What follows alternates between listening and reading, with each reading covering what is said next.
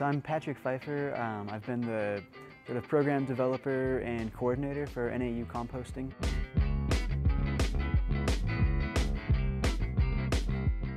The whole process begins pretty much with the folks in dining, um, the back of house prep chefs. They separate it as they go through their daily task of making their food. Um, they've got a specific list of what they can and can't compost.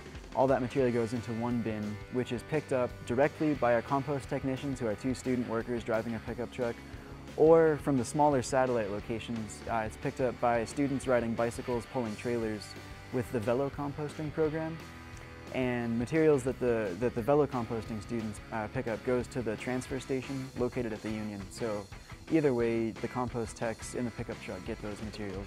They haul it down to our compost site, which is located at grounds south down by the solar panels. At that location, they dump it into the piles off the back of our pickup truck, uh, mix in the proper amount of horse manure, uh, wood chips, pine needles, and some other carbon-based materials to get into a good blend. Once a week or so, uh, Howard, who's one of the equipment operators with Grounds, will come in with the front end loader and do a really thorough mixing of that material to get it all uh, consistently homogeneous mixture going on.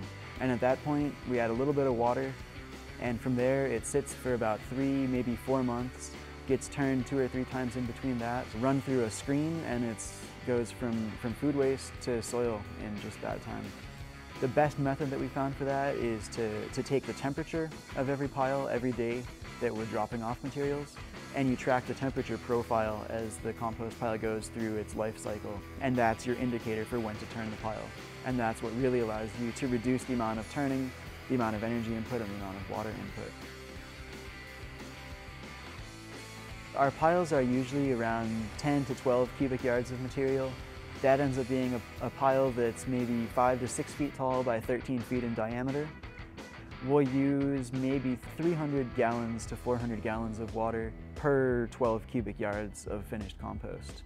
Not a whole lot of water by the industry standard. Um, that's about a twelfth of what some municipal composting programs are doing. So I feel like that's a pretty big success on our part.